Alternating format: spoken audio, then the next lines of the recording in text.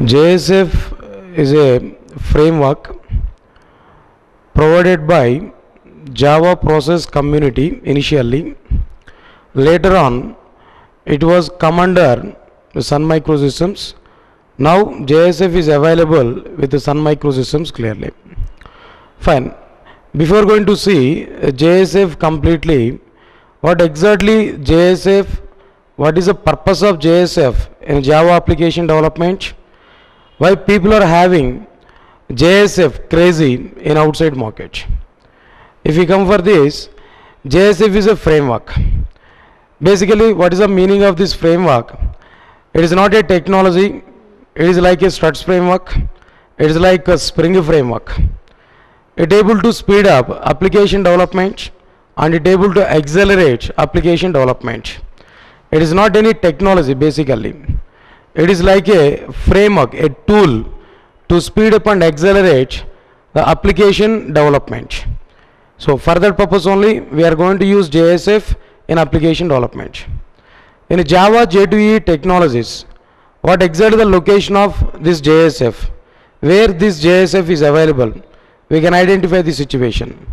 If we come for this, JSF, if we come for this, Java is divided into three parts basically. Java is available in three parts. The first one will be J2SE or JSE or and Java SE.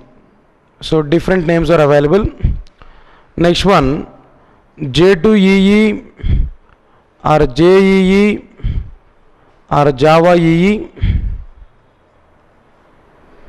Next one J2ME or JME or Java ME. So these are the three ports are available inside this Java package. J2SE mainly it is for standalone applications. J2SE in the sense Java 2 standard edition it is mainly for to design standalone applications and to cover fundamentals of the Java technology we are going to use J2SE. Next one Java 2 Enterprise Edition. Java 2 Enterprise Edition is mainly for enterprise application development. That means to cover server side programming we are going to use Java 2 EE. Next one J2ME Java 2 Micro Edition.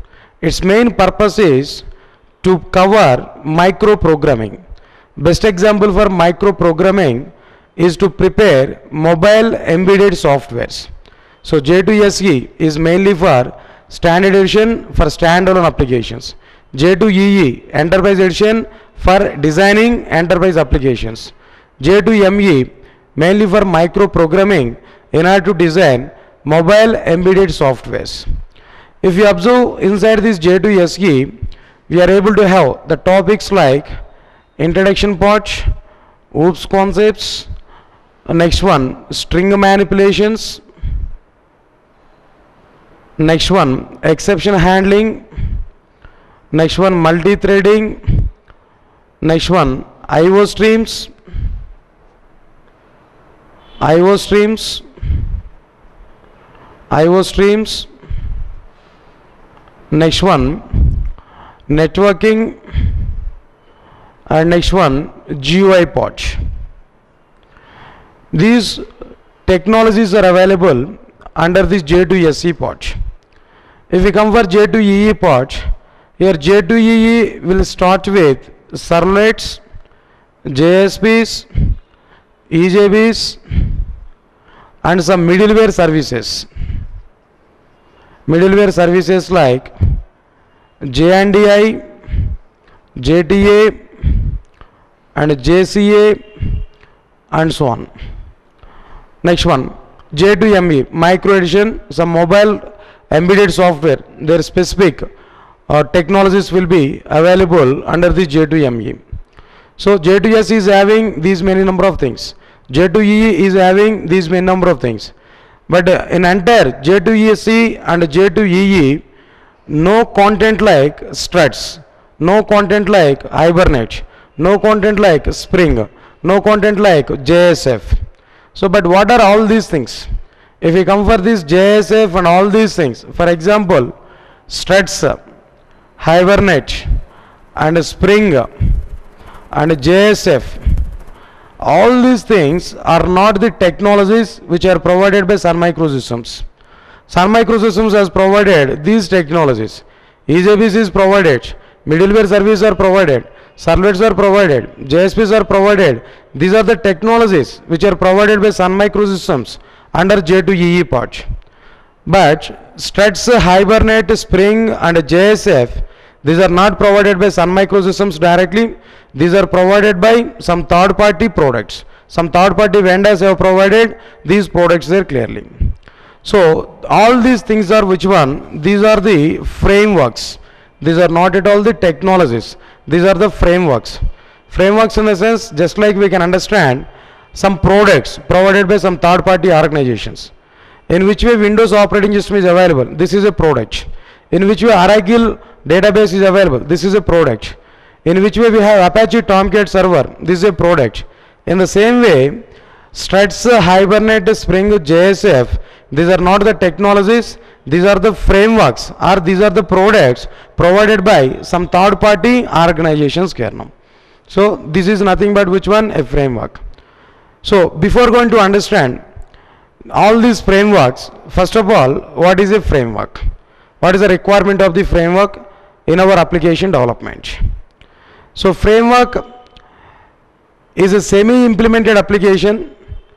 It can be used to design enterprise applications as per our convenience.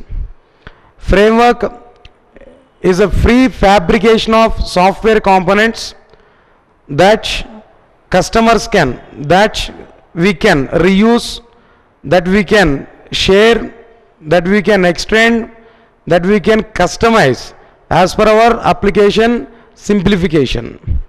Framework is a collection of tools which will provide very good environment to design enterprise applications in a simplified manner. So this is the meaning of this framework now. So framework is a semi-implemented application which will provide very good environment to simplify enterprise application development. Framework is a prefabricated software components that we can reuse, that we can customize, that we can share, that we can extend as per our enterprise application simplification. Framework is a collection of tools. Framework is a collection of APIs which will provide very good environment to design enterprise applications in a simplified manner. So this is a basic definition of the frameworks what we have clearly. Next one, what are the various advantages we are able to get by using these frameworks? Frameworks will provide number of advantages in application development. Framework is a semi-implemented application. That means if you observe enterprise application to enterprise application, 70% of the implementation is very common. If you observe enterprise application to enterprise application, 70% of the application development is very common. Let's say for example, if you take any enterprise application on the base of MVC, if you go for more number of enterprise applications on the base of MVC, where controller functionality is very common at each and every application, where we require some services, internationalization service is required at each and every application in very common. Validation service is required at each and every web appli enterprise application in very common. In the same way, security service is required in very common. In the same way, exception handling service is required in very common. So some service, a set of services are very common at each and every enterprise application. Once these are common at each and every enterprise application, if we get these commonly used services as a ready-made one, automatically our development work will be reduced. If 70% of the implementation is already ready-made, then developer will think how to provide only 30% of the implementation. Developer no need to think cover 70% of the common implementation. Already if any product is providing 70% of the implementation is common, developer should think about only remaining 30% of the implementation care So if we consider the situation, automatically developer work is reduced. All the commonalities are taken by developer as a predefined one from some third party components there now. right now in this particular situation developer work is reduced whenever developer work is reduced automatically development time is reduced when development time is reduced automatically development cost will be reduced. When development cost is reduced automatically productivity will be increased. Productivity in the sense within the less time achieving more complex requirement here. Within the less time achieving more application requirement. So automatically these many number of advantages we are able to get now. By using frameworks in the enterprise application development we are able to get number of advantages now. Number one we are able to speed up the application development. That means we are able to reduce application development. That means we are able to reduce application cost development cost we are able to reduce. Then finally we are able to improve productivity. So these are the various advantages we are able to get. Along with these advantages one more advantage with these frameworks is which one? Frameworks are able to provide a standard template to design enterprise applications frameworks will provide a standard template to design enterprise application. Not only standard template frameworks are able to provide a standard flow of execution for our application development. A standard flow of execution. If we go for mvc based frameworks there a clear cut flow of execution is available. If you observe the struts framework for example what is the flow of execution is going on? When we submit a request from a particular form to the server side first of all that request will be taken by controller that is action servlet action servlet will go to struts configuration file. Identify the names and locations of the action form and action class. That means flow of execution is coming to action form class there where action form instantiation is going on. After completion of this action form instantiation it will go to action class where business logic will be executed. After executing business logic controller action servlet will identify the respective target JSP page then it will forward request to JSP base flow of execution is coming to a particular JSP base. by the execution of that JSP base automatically some response will be generated to the respective client so in this particular scenario flow of execution is provided by struts framework clearly No? in the same way if we go for any framework a standard and predefined flow of execution is going on between the components which are available at the server side here in the same way if we go for JSF also inside the JSF also a standard flow of execution is going on internally now so finally the conclusion is which one frameworks are able to provide a standard flow of execution between the components which are available in our server side here now so these are the various advantages we are able to get from these frameworks. Mainly we are able to talk that main advantage of this framework is which one? Frameworks are able to speed up and accelerate application development. Frameworks will speed up and accelerate application development. For that purpose only we are able to utilize framework. A simple example here now. Without framework if we design any enterprise application automatically that project may take uh, nearly 5 years of time. But if we use frameworks to design the same application, automatically development time will be reduced here.